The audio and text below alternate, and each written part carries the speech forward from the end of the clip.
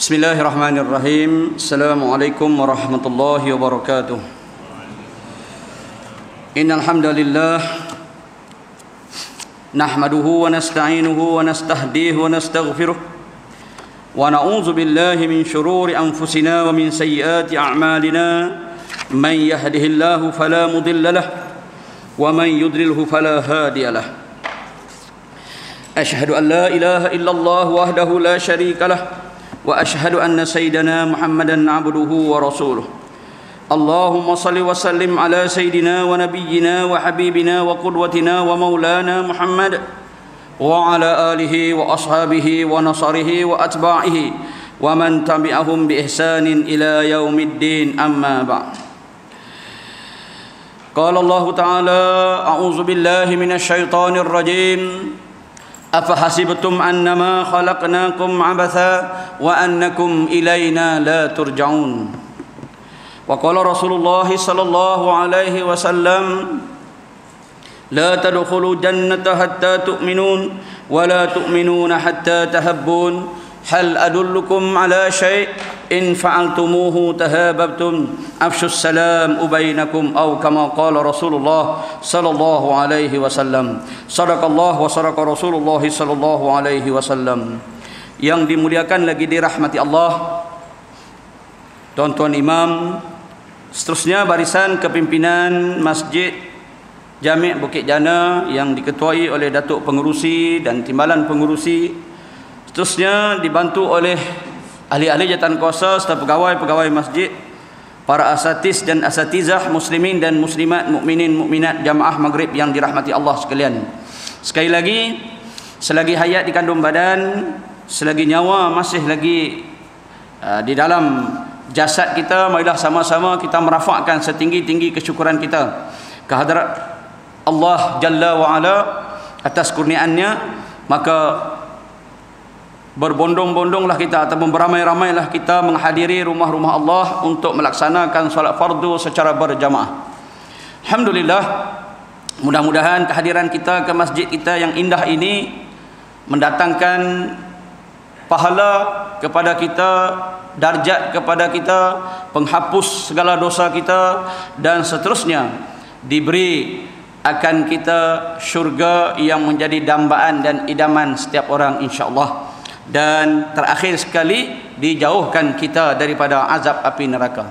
Insyaallah mudah-mudahan kita berada di dalam satu majlis ataupun halaqah ilmi, halaqah pertemuan keilmuan yang di dalamnya hadir bersama malaikat yang mendoakan akan pengampunan bagi segala dosa-dosa kita insya-Allah. Selawat dan salam terhadap junjungan besar Nabi kita Muhammad sallallahu alaihi wasallam. Junjungan mulia telah memperuntukkan hampir keseluruhan hidupnya semata-mata untuk menyampaikan agama Allah kepada dada-dada manusia. Dan tugasan baginda itu disambung pula oleh para khulafa ar-rasyidin para tabi'in para tabi' tabi'in para ulama-ulama salaf khalaf mutaakhirin dan sampailah kepada kita pada hari ini sebab itu tuan-tuan yang dirahmati Allah kita akan dapati pada setiap masa, zaman, kurun, abad pasti akan lahir mujaddid-mujaddid yang bersedia untuk mempertahankan agama Allah ini. Baik itu tuan-tuan yang dirahmati Allah apabila Allah telah pilih kita berada dalam agama ini maka yakinlah agama ini adalah sebaik-baik agama sama ada kita nak berhujah secara nakli yang ini Al-Quran dan juga hadis ataupun nak berhujah secara akli yakni menggunakan akal fikiran ataupun logik akal. Kesemuanya itu tuan-tuan akan menjuruskan kepada satu bukti bahawa agama ini datangnya dari Allah dan diturunkan untuk manusia dalam keadaan manusia mampu untuk menganutnya. Kerana maqasid-maqasid yang disediakannya sesuai dengan fitrah kejadian manusia. Ini diakui oleh sarjana-sarjana daripada luar agama Islam. Kita akan jumpa Roger Jim Miller, Profesor apa? Terjasin nama dia kan. Uh, apa tu Morris Bushili yang membuat kajian-kajian tentang agama tentang Al-Quran mereka menjumpai ini bukanlah sebarang agama yang menjadi ciptaan manusia. Sebaliknya agama daripada Allah Tuhan pencipta alam ini untuk dianuti oleh semua manusia jadi Alhamdulillah kita sudah berada di atas agama tersebut. Lebih-lebih lagi kita pula berfahaman sunnah wal jamaah atas akidah asyariah dan maturidiyah. Ha? Dan kita tidak tercampak pula dengan syiah, mu'tazilah dan sebagainya. Itu satu nikmat yang paling besar yang Allah SWT kurniakan kepada kita. Baik tuan-tuan yang dirahmati Allah. Uh, pada malam ini kita menyambung lagi pengajian kita dalam kitab Terhumban ke Kawah Neraka dan kita berada di muka surat yang ke-69 pada bab yang menyatakan kesengsaraan neraka. Kita telah lihat pada perjumpaan kita pada bulan lepas di mana tiga golongan yang Allah Subhanahu taala uh, mengheret mereka muka mereka di atas uh, tanah neraka ataupun di dalam api neraka. Yang pertama golongan yang disebut qurra, qari-qari, yang kedua mereka yang ada ilmu, yang ketiga mereka yang berjuang di jalan Allah yang mati syahid ataupun perwira tetapi bukan niat kerana Allah Jalla wa ala. Jadi malam ini kita tengok pula kesengsaraan yang kedua. Baik, qala musannif rahimahullahu taala wa nafa'na wa iyyakum bi ulumihi fi umuri daraini insyaallah minal aminin. Kesengsaraan kedua yang Allah Subhanahu taala sediakan untuk uh, penghuni-penghuni neraka ialah disebutkan bahawa di dalam neraka saiz fizikal penghuninya diperbesarkan oleh Allah Subhanahu wa taala. Aha, sebab itulah kita fikir balik kan. Apabila Allah menyebut neraka perjalanan dia daripada timur ke barat, daripada perjalanan daripada sudut ke sudut, maka masa ribuan tahun ataupun ratusan tahun dalam hadis-hadis.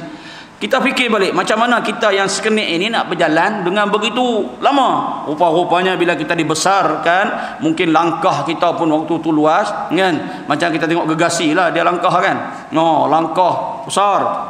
Selangkah dia ha, berapa langkah kita. Jadi apabila Allah kata dalam saiz fizikal penghuninya uh, dalam dalam neraka saiz fizikal penghuninya diperbesarkan oleh Allah disebutkan di sini disebabkan api neraka itu terlampau panas. Ha, terlampau panas. Macam mana keadaan panasnya? Wallahu taala alam. Api yang ada atas dunia ini pun dah terlalu panas. Ya, kita tengok orang yang terbakar dia ada kategori 7%, 70%, 50%, ada kategori 30% terbakar. Itu pun kita tengok dah tak sangka dah ngeri dah. Dan tak sangka dah ngeri dah. Tengok keadaan terbakar itu apatah lagi api neraka? Wallahu taala alam. Yang disebutkan oleh nabi ha, bahawa kalau jatuh di atas dunia ini habis ha, segala dunia dan isinya. Baik dikhabarkan oleh nabi sallallahu alaihi wasallam bahawa api di dunia ini hanyalah 1 per 70 daripada 70 tu ambil satu. Sikit sangat diambil. Berbanding api di dalam neraka. Neraka ini pun dah maksud neraka ini pun nar itu pun dah api lepas tu dia punya ingredient ataupun bahan utama dia adalah api kan? Dan api dia pula ialah api yang sebenar-benarnya api. Maka kita boleh bayangkanlah kesakitan dan juga kesengsaraan si penghuninya. Dalam keadaan pula fizikal pula diperbesarkan. Supaya menambah-nambah lagi akan kesengsaraannya. Baik itulah tuan-tuan yang dirahmati Allah kita mengaji bab api neraka ini bukanlah maknanya kita nak masuk neraka tetapi kita nak mengetahui tempat ini adalah tempat yang tersangat-sangatlah teruk kan? Wasaat masiro tempat yang paling teruk. Tempat yang tidak ada lagi lah nak dibandingkan dengan hal ehwal dunia ini kan? Sebab ada orang tanya apa siapa kita mengaji bab neraka ustaz? Syurga bila? Ha kan? Syurga kami sunnah kan? Ha bila syurga seronok je dengar kan Ni bab neraka kita rasa takut. Tapi kita mengaji ini supaya kita memahami bahawa janganlah kita duk pergi ke sana. Jadi kita boleh ready siap-siap. Macam dalam kitab Muhimmah tuan-tuan kan. Kitab Muhimmah. Ha? Kitab Muhimmah dia menceritakan hak ehwal orang perempuan. Untung orang perempuan Muslimat untung. Kerana Allah Ataupun kitab tu dah cerita dah. Perempuan buat macam ni Jadi macam ni Buat macam ni Jadi macam ni. Dalam neraka Nabi tengok Oh lima, lima puluh orang uh, Masuk neraka uh, Lima puluh masuk Perempuan masuk Lelaki satu masuk neraka. Nabi dah cerita dah Bahawa perempuan banyak dalam neraka Jangan kita kata hmm, Nabi ni duk mendiskriminasi wanita lah kan? Pandangan setengah-setengah geng-geng uh, Golongan liberal. Tapi sekurang-kurangnya Nabi dah alert awal. Nabi dah bagi amaran awal Bahawa Ini, ini, ini, ini perbuatannya Inilah tempat kamu wahai orang Orang perempuan. Orang lelaki tak ada kan? Orang lelaki tak ada. Dia nyatakan secara overall kan? Secara umum. Perempuan kata spesifik kan? Contoh dalam kitab muhimah kalau berhias uh, untuk selain daripada lelaki uh, berhias selain daripada untuk suami digantungkan kakinya kemudian dilipatkan kakinya ada ular dengan kala sedang makan daging dia di bawahnya dinyalakan api neraka. Maknanya tuan-tuan secara spesifik dinyatakan tentang siksaan kepada orang perempuan bukan maknanya nak suruh masuk. Maknanya bolehlah ready awal-awal mengelakkan daripada daripada masuk ke tempat itu. Macam kita kita tak tahu lagi. Orang lelaki dia tak tahu. Muslimin dia tak tahu. Dia secara umumnya secara overallnya. Kan? Ha, jadi itu ada satu keuntungan. Sebab itu kita katakan agama kita ini syumul. Yang sudah berlaku pun dia bagi tahu. Yang sedang berlaku pun dia bagi tahu. Yang akan berlaku pun bagi tahu. Yang negeri akhirat pun dia bagi tahu mana ada agama lain yang menceritakan secara detail?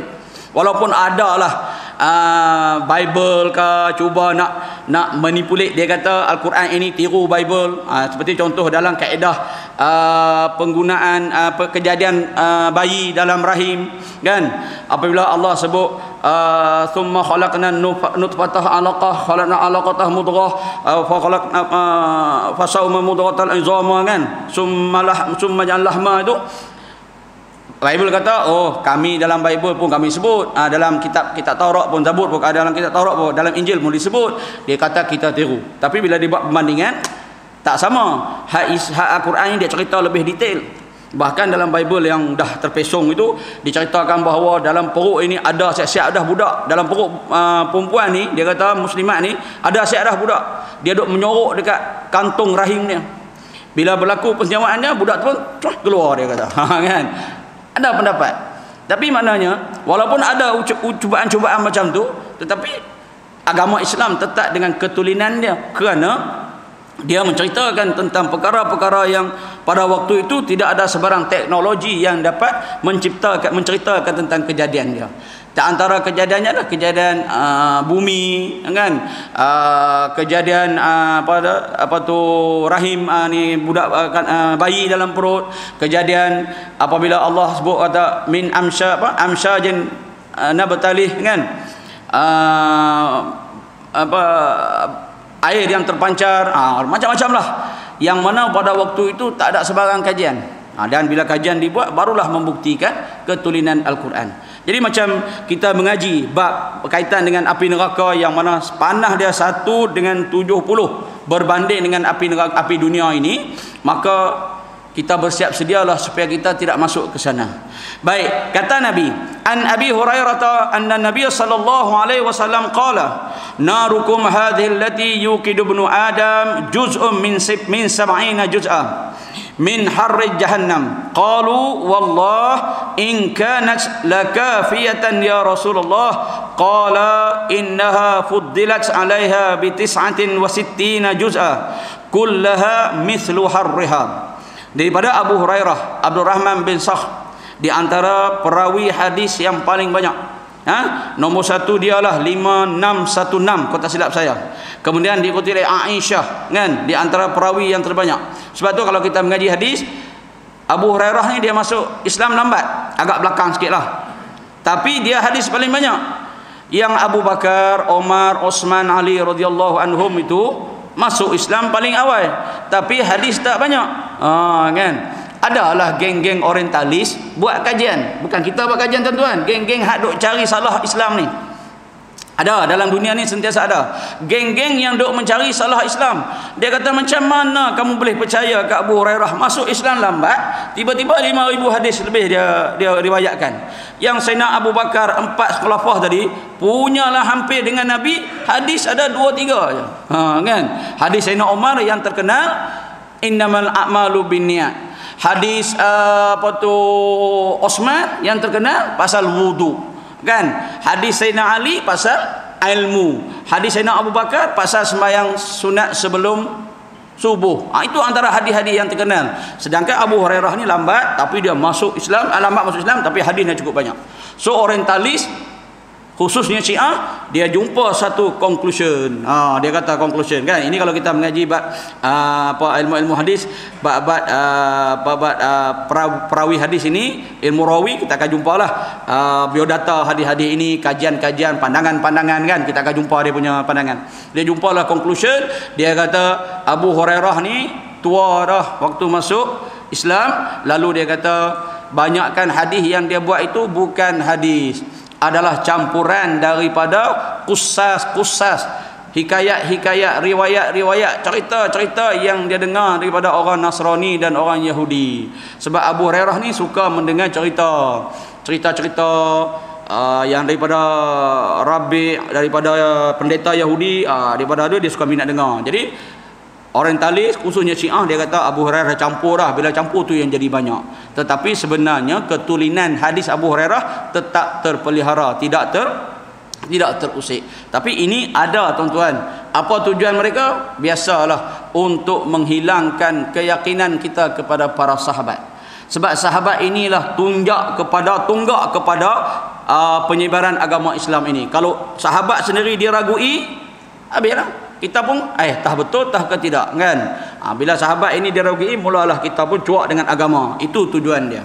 Tapi yakinlah bahawa sahabat ini undul. Keseluruhan sahabat itu undul. Itu mereka ini adil. Mereka tak melakukan sebarang sebarang dosa-dosa atau kesilapan yang besar. Baik. Lalu kata Abu Hurairah Nabi bersabda api yang kamu panaskan di atas dunia ini hanyalah satu juzuk daripada 70 juzuk api neraka Allah Subhanahu wa taala. Api yang kita pakai atas dunia ni yang kalau terbakar tak sangga takutnya kita tengok kan? Punya besar naik kan? Macam saya cerita kalau kita tengah duduk tidur rumah terbakar lari tak tengok apa dah sedar-sedar baru perasan lah tinggal spender punya aku pakai kan? Masa tu tak pedulilah takut ke api. Satu juzuk daripada 70 juzuk api neraka Lari kita kalau api siapa berani dekat? Bomba tu sebab depa kerja kalau tanya depa depa pun takut kan. Pi dah kerja nak buat macam mana kan? Depa terlatih pula. Sebenarnya takut siapa pun takut api. Jadi satu juzuk je daripada 70 juzuk api neraka. Para sahabat berkata, "Wahai Rasulullah, sekiranya neraka seperti api dunia itu sudah mencukupi, Baginda menjawab sesungguhnya api neraka dilebihkan atas api dunia dengan 69 bahagian lagi yang setiap bahagiannya sama dengan panasnya api di dunia ini. Maknanya ada 69 lagi baki api neraka tu dan setiap satunya dia punya panas dia tu macam panas sekarang api neraka, api dunia ni. Maknanya api dunia ni digandakan sebanyak 69 kepanasan. Ha, kan? Lah ni berapa paling tinggi? Kalau di matahari apa? 1000 kan? 1000 darjah Fahrenheit kan? Pasal silap minta maaf lah tuan ya. Saya rasa itulah kan dia punya kepanasan matahari kan. Kan solar sistem solar tu. Itu pun cuba kita berdiri lama-lama. Itu kepanasan matahari. Kan? Api kalau kita bu bu buat macam pendiang tu nak berdiri nak sejukkan nak panaskan badan itu lama-lama berpeluh. Kita tak boleh tahan dengan api. Kalau kita bakar lemang kan bakar lemang sistem tradisional lah. Lah ni dia boleh tonton drum sistem tradisional bakar lemang. Kita nak pergi pusing lemang tu. Oh, terbakar kening bulu kening ni habis kan? Punya panas. Dia punya bahang dia tu. Sebab tu lemang harga mahal kan? Lemang harga 20 30 14 15 sebab apa? Nak buat dia Masya Allah nak, nak pusing dia tu bukannya senang. Panas dia tu. Ha, itu kita bayangkanlah dunia punya punya api. Firman Allah Subhanahu wa taala menerusi surah Al-Waqiah. Ha, hadis tadi riwayat Muslim ha, tuan-tuan. Ayat 61 dan 62. Allah berfirman, "Ala an nubaddila amsalakum wa nunshi'akum fi ma fi ma la ta'lamun. Wa laqad 'alimtumun nash'atal ula falawla tadhakkarun." bahkan kami berkuasa menggantikan kamu dengan orang yang serupa kamu tetapi tidak seperti bawaan kamu dan berkuasa menciptakan kamu dalam bentuk kejadian yang kamu tidak mengetahuinya Nah, ini berkaitan dengan kekuasaan Allah. Surah Al-Waqiah dia menunjukkan menceritakan dia punya intipati secara keseluruhannya. Tema dia berkaitan dengan kekuasaan Allah dan juga hari akhirat. Kan? Kelebihan-kelebihan orang syurga, kelebihan-kelebihan orang neraka, berapa lama dalam syurga, berapa lama golongan-golongan masuk syurga, masuk neraka, itu dia punya intipati daripada tema surah Al-Waqiah. Kan? Idza waqa'atil waqi'ah laisa liwaqa'atiha kadhiba khafidatur rafi'ah ila ila akhir ayat lah. Panjang ayat dia. Baik. Dan demi sesungguhnya kamu telah sedia mengetahui tentang ciptaan diri kamu kali pertama maka ada baiknya kalau kamu mengambil ingatan bahawa Allah yang telah menciptakan kamu daripada tiada kepada ada. Ha, tuan-tuan yang dirahmati Allah. Kita dah tahu kata ayat ini, kita dah tahu bahawa kita dah diciptakan. Kita dah wujud di atas dunia ini. Kita dah tahu semua orang maklum. Kita tahu. Jadi bila kita dah tahu kata ayat ini, ambillah ingatan bahawa Allah yang telah menciptakan kamu daripada tiada kepada ada itu berkuasa membangkitkan kamu kelak. Maknanya dulu kita tak ada. Kalau disebut dalam riwayat uh, bahawa dulu sebelum kita lahir ke dunia, siapa pun tak pernah menjangka kita hadir. Adakah siapa-siapa sini yang rasa satu hari dia akan bertemu dengan dengan kawan dia? Sebelum dia hadir tak siapa sebut nama, nama pun tak sebut. Orang pun tak tahu. Tiba-tiba Allah ciptakan melalui uh, kejadian yang saya sebutkan tadi itu uh, dalam surah Al-Mu'minun itu hadir ke dunia. Dan kita pun tak sangka Allah letakkan kita di tempat yang sekian-sekian kita duduk sekarang. Dulu orang tak pernah sebut pun, saya pun tak pernah jangka pun nak balik duduk di Semenanjung ni, kemudian nak boleh mengajar di sini, kan? Kalau ikut target memang nak duduk di Sabah sampai pencin ya, sampai sampai di sana lah. Tapi kita kata Allah subhanahu wa ta'ala punya perancangan mari sini bertemu pula dengan tuan-tuan. Sebelum ni tuan-tuan tak pernah sebut pun nama saya kan? Ala ni kalau saya masih sikit sebut nama saya sebut nama. Ada lah dia punya dia punya tu. Nak menunjukkan daripada tak ada kepada ada Allah boleh boleh berkuasa menciptakan. Apatah lagi hanya hilang seketika iaitu kematian. Benda dah ada dah. Cuma nak bangkitkan balik je. Takkan tak boleh kan takkan tak boleh. Benda dah ada dah nak buat balik. Bayangan tu dah ada dah. Daripada nak cipta pun Allah mudah nak buat kan. Apalagi kalau benda dah ada cuma nak dibangkitkan balik. Ha, itu nak menunjukkan bahawa Allah berkuasa. Dan Allah buktikan melalui kisah uh, apa tu ashabul kahfi yang tidur 309 tahun. Allah buktikan melalui uh, dalam surah al-baqarah tu yang fanzur ilal himarika uh, wa syarabika thumma yatasannah tu kan. Allah wujudkan uh, dia tidur 100 tahun. Uh, kemudian uh, bila dia jaga kemudian dia tengok kaldai dia dengan makanan dia habis rosak tapi dia ha, kan? Dia masih okey lagi. Rupanya dia tidur selama 100 tahun kan? Kemudian apa lagi? Allah sebut dalam surah uh, al-mu'minun yang terakhir afa hasibtum annama khalaqnakum abatha wa annakum ilaina la turja'un? Adakah kamu yakin kamu sangka kamu diciptakan sia-sia sahaja? Saja-saja seronok atas dunia ni bagi penuh kan? Bagi penuh saja. Ilaina la turja'un la, la turja'un dan kamu tak tak tahukah bahawa kamu sekali akan kembali kepada kami. Ha kan? Yang terakhir daripada surah al-mukminun afa hasibtum annama khalaqnakum abasa. Kamu menyangka kamu diciptakan sebagai saja-saja seronok. Tak ada apa tanggungjawab yang dipikulkan kepada kita. Saja Tuhan tak tak tahu nak kerja apa hmm, jadi kalah manusia. Kita sangka kita macam tu. Bahawa kita takkan dipersoalkan di negeri akhirat. Sebab tu dinamakan tanggung jawab kan tanggung iaitu kita memikul amanah. Amanah kita sebagai khalifah amanah kita sebagai hamba Allah. Kemudian jawab. Jawabnya di negeri akhirat. Ha, kan? Tanggung dan jawab. Kita tanggung dulu di atas dunia ini. Kalau kecil orang dia kecil lah tanggungjawab dia. Besar orang dia besarlah tanggungjawab dia. Pengurusi masjid macam kami ini cara pengurusi masjid punya tanggungjawab. Kan? Mari ke YB mari ke pemimpin mari ke peringkat antara bangsa dunia lebih besar. Tanggungjawab dia dan tanggung dia dan jawab pun besar jugalah di negeri akhirat. Ha, kan? Kita yang kecil-kecil ini kena tanggung juga amanah. Kan? Tapi sikitlah tanggungannya orang pun tak pandang Allah orang biasa-biasa ya siapa nak tengok? Kita rasa lekeh nak jadi orang yang orang pandang kan? Sebab tu dalam kitab muhimmah juga tuan-tuan disebutkan tuan-tuan. Orang perempuan ni orang lelaki ni dalam rumah tangga ni macam raja tengoklah keluar tanpa izin digantung di negeri akhirat. Berhias lain pada suami dibakar di bawah api.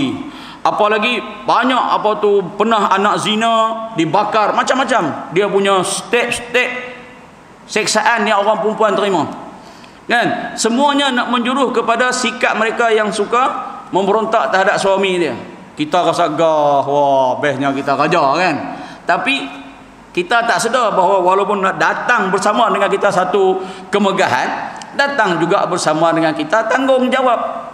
Nampak gah kita bagi orang lelaki ataupun suami ini kerana isteri pasal ikut cakap kita kan? Sebab itu orang lelaki ini dia rasa wira dan hero apabila isteri tunduk kepada dia. Tetapi dalam kewiraan dia dalam keheroan dia dia terpaksa tunduk kepada wanita yang bergelar ibu. Ha, dia nampak macam tu kan. Rasa gah dah tadi. Tapi bila ada orang perempuan sebagai ibu, maka kita pula orang lelaki kena tunduk kepada dia. Allah cipta tu cukup adil. Dan bersama dengan pula tanggungjawab. Bila tanggungjawab, Allah jenuhlah kita nak jawab. Terutama apabila menceritakan tentang neraka agak-agak lepas dak kita ni tuan-tuan daripada api neraka. Macam mana tanggungjawab kita pengurusan di dunia? Kalau kita kecil paling-paling pengurusan keluarga kita kalau keluarga pun tak ada pengurusan diri sendiri kan? Kesemuanya itu memerlukan tanggung dan jawab. Kullukum ra'i wa kullu ra'i mas'ulin ala ra'iyati. Setiap daripada diri kamu adalah pemimpin dan setiap pemimpin akan dipertanggungjawab atas kepimpinannya. Kalau diri sendiri pimpin diri sendiri kan? Contoh pada waktu ini sepatutnya aku di mana tempat aku yang selayaknya? Di rumah kah? Di kedai kopi kah di depan TV kah? Di masjid kah? Di kuliah-kuliah kah? Ha, itu adalah tanggungjawab yang perlu kita jawab di hadapan Allah. Setiap kesilapan kita akan diberi balasan di sisi di, di sisi Allah Subhanahu wa taala. Baik Rasulullah sallallahu alaihi wasallam bersabda dirsul kafir au nabul kafir mislu uhud. Wa ghulizu jildihi mi masiratun salasin Gigi geraham orang kafir sama besar dengan bukit Uhud. Ha, ini nak cerita pasal fizikal yang dibesarkan. Gigi geraham orang kafir sama besar dengan bukit Uhud. Tebal kulitnya sama perjalanan selama tiga hari bila dihumban ke dalam neraka tersebut. Hadis riwayat Muslim. Tu dia tuan-tuan, tak pernah ada makhluk di dunia ini yang giginya sebesar bukit Uhud. Kan? Nak menunjukkan betapa besarnya fizikal manusia ketika berada di alam akhirat kelak. Itu kita tengok kan, bila berada di padang mahsyar, uh, telaga Uhud milik Nabi, perjalanan dia sebulan pergi sebulan balik kemudian timba apa cedok dia tu gayung dia tu sebanyak bintang-bintang di langit ha kan kita rasa tak bayang cakap akal tu macam mana lah banyak sangat sebanyak bintang di langit perjalanan uh, bucu telaga ni sampai bucu telaga ni sebulan perjalanan uh, jauhnya duk bayang ni rupa-rupanya bila badan kita besar uh, fizikal kita dibesarkan maka sudah tentunya keperluan kita untuk memenuhi tempat itu juga juga besar. Saiz peng, fizikal penghuni neraka dibesarkan oleh Allah untuk menambahkan lagi kesengsaraan mereka ketika diazab. Ha ini di antara tujuan utama kenapa saiz fizikal kita dibesarkan yaitu untuk dibesar uh, untuk menambahkan lagi kesengsaraan mereka ketika diazab. Lagi besar badan dia, lagi sedaplah, kan? Macam kita panggang kambing lah. Kalau panggil kambing hak kuruh tu Allah kan.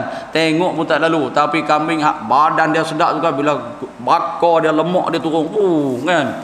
Punya syok kan. Tarik dia punya paha tu. Ha, kan. Buh si arak pula kena kan. Kambing kan. Jadi kita bayangkan. Besar itu nak menunjukkan lagi kesensaraan yang besar dia akan terima. Dalam hadis yang lain Rasulullah SAW memberitahu tentang jarak di antara kedua bau penghuni neraka iaitunya perjalanannya mengambil masa selama tiga hari di antara kedua bau. Kan? mengambil masa perjalanan tiga hari kenapa dibesarkan jasad mereka? Kerana Allah mahu mengazab dan menyiksa para penghuni neraka. Kan? Rasulullah SAW menyebut gigi geraham orang kafir pada hari kiamat kelak sebesar bukit Uhud kulitnya setebal 70 hasta lengannya seperti al-bayda al-bayda ni nama nama tempat lah dan pahanya seperti wariqan tempat duduk dalam neraka pula di antara jarak Mekah dan Rabzah Rabzah ialah sebuah tempat di antara Mekah dan Madinah. Ha, kita nak membayangkan besar tu. Kawasan dia punya kedudukan dia tu, tempat ruang yang diambil itu jaraknya di antara Mekah dan Madinah. Rabzah nama tempat di Mekah dan Madinah. Saya pun tak pasti di mana tempat ni kan sebab bila kita naik uh, bas kita pun tak tak tak tengok jugalah kan. Tapi dia kata Rabzah ni adalah sebuah tempat di antara Mekah dan Madinah. Dalam hadis yang diriwayatkan oleh Sa'id Al-Khudri menerangkan bagaimana Allah SWT sensarakan mereka ini Rasulullah memberi peringatan sesungguhnya orang kafir itu diperbesarkan tubuh badan mereka sehingga gigi gerahamnya sebesar bukit Uhud. Ha, tujuannya untuk kesengsaraan. Itu tujuan utama dia pembesar dia. Maknanya kalau kita masuk dalam neraka pun kita akan menghadapi kesengsaraan yang sama. Kan? Kerana tujuan neraka ini memang tempat azab kan? Bukan tempat untuk pemulihan ha kan? Kalau dunia ni penjara lah ni dia panggil apa? Correctional kan? Ha, dia panggil tempat pemulihan. Dulu dulu dulu, dulu boleh lah. Uh, masuk penjara ni biasanya tempat orang seksa-seksa. Lah dak dah. Lah correctional dia tempat pemulihan. Tapi neraka dia bukan bersifat pemulihan. Dia bersifat azab. Masuk di sana dia punya tujuan dia memang untuk mengazabkan orang ataupun mengsensarakan orang. Sehingga orang tu merasa menyesal yang tak amat-amat tapi tak buat nama macam mana dah dia dah sampai masa untuk pembalasan dia. Kerana dah diberi peluang diberi peluang diberi peluang tak ambil juga akan peluang tersebut. Macam hari inilah. Kan? Kita tahu bahawa kematian bila-bila masa boleh berlaku. Malam tadi saya mengajar di apa tu Pak Dolah kan? Surau Pak Dolah tengah lepas maghrib tu ngam-ngam saya nak mari duduk di tempat ni untuk untuk mengajar je. Tiba-tiba jemaah lari semua pakai pergi kat luar. Kan? Eh saya kata apa saya apa tinggal saya seorang je ni. Rupa-rupanya ambulan mengambil orang sakit covid. Kan? Ambulan mengambil covid pakai lari tengok belakang. Pakai riuh tanya siapa tu? Siapa tu? Siapa tu? Kan? Ha, kan? Maknanya bila masa je. Bila masa je kematian tu berlaku. Sekarang ni kita tengok orang orang belum orang belum tengok kita lagi. Kan? Jadi saat itu akan sampai. Jadi bila saat itu sampai baiklah kita ber, bersedia. Fatazawwadu fa inna khaira zadi dittaqwa sedangkan saya kata tadi tuan-tuan dalam agama kita dah diajar pelbagai-bagai petua pelbagai-bagai cara untuk dapat pahala. Macam contoh kita mari ke masjid ni tuan-tuan. Selain pada 27 darjat apa lagi kita dapat? Pertama kita dapat 27 darjat yang kedua Nabi kata siapa duk saf awal, siapa mari waktu azan tadi kan uh, apa tu takbir bersama dengan imam kan 40 waktu dapat lepas daripada munafik dan juga api neraka. Lepas tu apa lagi? Uh, sagi kita sembahyang uh, insya sagi uh, Nabi kata kalau kamu mengetahui kelebihan dia maka kamu akan dapat lagi. Maknanya perjalanan kita mari ke sini tuan-tuan. Bukan satu sahaja Allah bagi untuk kita punya pelepasan daripada api neraka tu. Kan? Banyak dia punya bukti-bukti. Selain daripada bersilaturahim tadi kita dapat bertegur sapa bertanya khabar dengan dengan sahabat-sahabat kita. Banyak petua-petua dan juga cara-cara yang nabi bagi tahu untuk menyelamatkan daripada api neraka. Untuk masuk kita ke dalam syurga bukan tak tahu bukan tak mengaji. Maklumat tu ada. Tetapi gagalnya kita kerana kita masih lagi mengutamakan kehendak nafsu kita. Walaupun kita tahu tapi tanyalah kawan-kawan kita yang tak mari ke masjid tu. Dia kata hmm, tahu ustaz tapi malam ni bola pula syok ni tak kan? Subuh kan? Allah bestnya subuh. Tuan-tuan yang dirahmati Allah saya nak berkongsi dengan tuan-tuan satu tip yang ditulis oleh Dr. Zainal apa Dr. Zainal Abidin tu Dr. Zainal Abidin kan yang Al-Quran dan Sains tu dia kata tuan-tuan, kajian yang dibuat dalam buku tu, kajian yang dibuat, dia buat satu kajian Universiti Tehran di Iran dia buat satu kajian orang yang bangun pagi secara konsisten setiap hari maknanya dia tidur pukul 11 dia dia tidur dia tidur tak kisah pukul berapa dia dapat 4 jam ke atas tidur dia kata dia buat kajian siapa yang tidur dapat 4 jam dan dia bangun secara konsisten setiap hari. Selama lebih kurang sebulan sahaja berbanding dengan orang yang tidur juga 4 jam ataupun orang yang tidur tak menentu saat 4 jam, saat 2 jam, saat 8 jam bangun pula tak menentu-nentu kajian mereka orang yang tidur yang bangun secara konsisten ini lebih sehat daripada orang yang bangun tak menentu-nentu ini ini tuan-tuan boleh baca dalam penemuan saintifik berdasarkan Al-Quran kan Lepas tu satu yang paling menarik yang saya baca saya, saya dapat itu tuan-tuan iaitu berkaitan kata tabib Cina. Tabib Cina, aku pak aku punca kan yang cocok-cocok jarum tu. Dia kata di badan kita ni ada 600 titik rangsangan. Dalam badan kita ada 600 titik rangsangan. Daripada 600 itu ada 66 rangsangan yang jika dirangsangkan setiap hari maka dia akan menghadirkan Uh, kualiti hidup dan juga emosi yang stabil. Dia tak dia tak keluh kesah, dia tak murung, dia tak mengeluh sana sini lah. Emosi kualiti hidup dan emosi yang stabil. Daripada 66 tempat yang kena rangsang itu, 61-nya ialah kawasan yang kita berwuduk. Ha, ini penemuan. Bukan orang Islam yang buat tuan-tuan.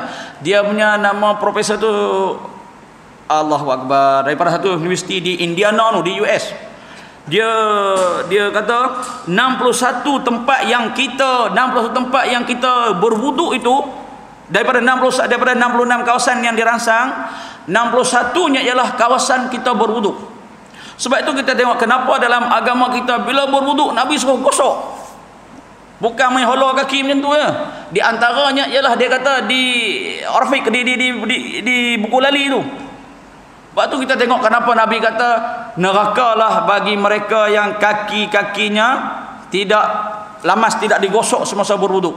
Tak diratakan air. Rupa-rupanya masa kita gosok tuan-tuan merangsang titik-titik dengan bantuan air wuduk merangsang titik-titik untuk menghadirkan happy happy living keseronokan dalam hidup. Lepas tu kita tengok orang yang rajin berwuduk Nabi suruh gosok dan dalam satu hadis Nabi Nabi kata uh, apa pendapat kamu ka marai fi fi fi, fi amamin babin nahra? Kata apa pendapat kamu jika di depan rumah kamu ada ada sungai lepas tu kamu mandi lima kali sehari? Hal fi dara fal hal yabqa fi darahim syai'in? Adakah kekal lagi daki-daki yang ada sana Nabi nak cerita bahawa lima kali kita berwuduk ini merangsang 61 titik-titik yang boleh menyebabkan kita mempunyai kualiti hidup yang lebih baik daripada orang lain. Kita boleh tengok kawan-kawan kita, tok syekh kita, pak lebay kita, ustaz-ustaz kita, sahabat-sahabat kita yang sentiasa mengazali melazimi dengan dengan wuduk. Tengok hidup depa macam mana. Selain pada muka depa kita tengok bersih. Saya tuan-tuan ber, ber, ber, berkebetulan dapat bersama-sama dengan almarhum tuan guru uh, Dr. Dr. Harundin. Uh, ketika di Sabah saya menjadi pengiring dia masuk bilik masuk bilik hotel dia dapat tepuk di belakang dengan dia kan. Rasa macam tak mau tinggal tengok tuan guru Harundin ya Allahu Akbar. Boleh makan dekat dan di Darul Syifa Bangi makan dengan dia kan. Rasa tak nak makan tu mata aku boleh nak tengok je kat dia. Kita bayangkan Rasulullah. Itu baru tuan guru Harundin saya rasa lepas tu dapat pula bersama dengan almarhum uh, Ishaq Haji Bahrum kan Tuan Guru Ishaq Haji Bahrum uh, taala. Seronoknya dapat melihat kan rupa-rupanya di antara rahsia mereka ialah berwuduk. Dan Islam dah lama dah menceritakan tentang wuduk kajian baru jumpa. Sebab itu tuan-tuan yang dirahmati Allah kan agama kita ni sebenarnya dihadirkan macam saya katakan tadi bukan saja nakli Al-Quran dan hadis membuktikannya.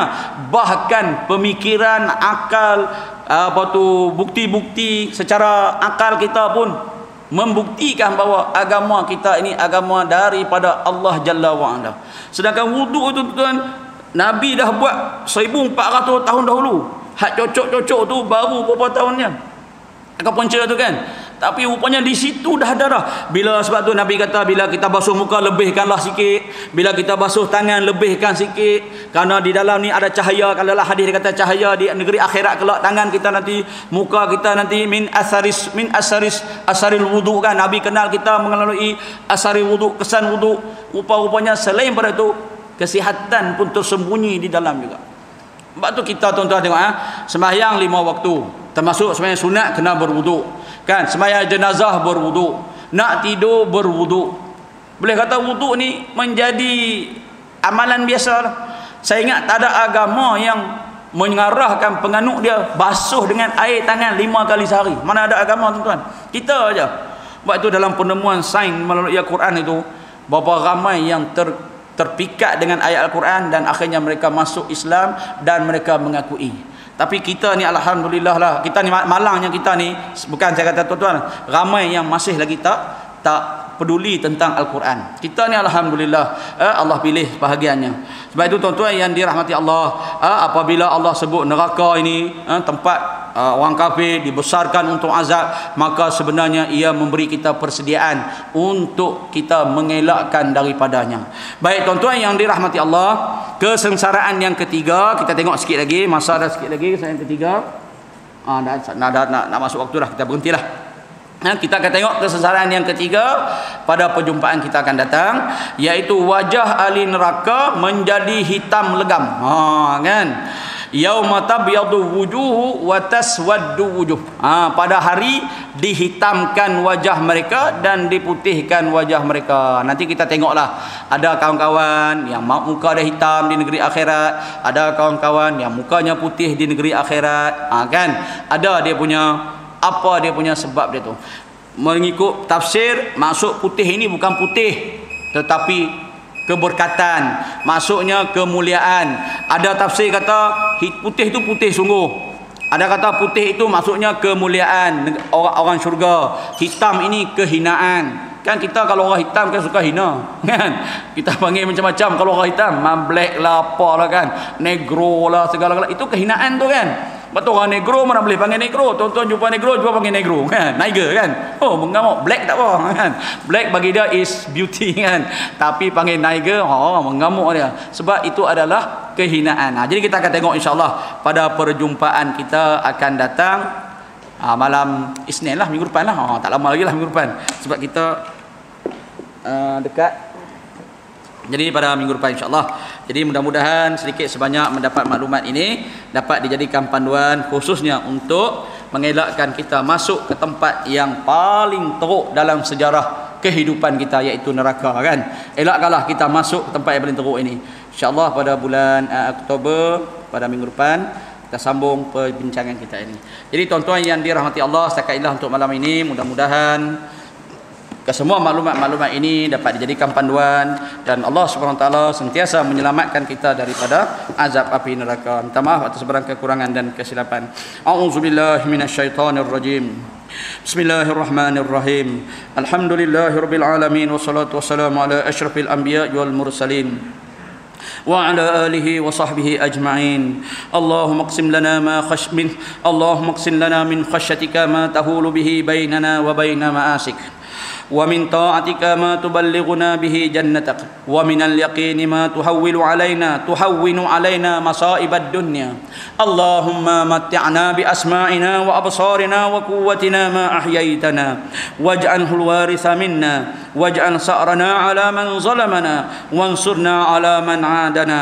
ولا تجعل مصيبتنا في ديننا ولا تجعل الدنيا أكبر همنا ولا مبلغ علمنا ولا تسلط علينا من لا يرحمنا يا أرحم الراحمين اللهم فقهنا في الدين وعلمنا تأويل وارزقنا فهم النبيين زدنا علما وارزقنا فهما برحمتك يا أرحم الراحمين اللهم اجعل جمعنا هذا جمعا مرحوما وتفرقنا من بعده تفرقا معصوما ربنا آتنا في الدنيا حسنة وفي الآخرة حسنة وقنا عذاب النار وصلى الله على سيدنا محمد وعلى آله وصحبه وبارك وسلم والحمد لله رب العالمين أقول قولي هذا وأستغفر الله العظيم لي ولكم والسلام عليكم ورحمة الله وبركاته والله تعالى أعلم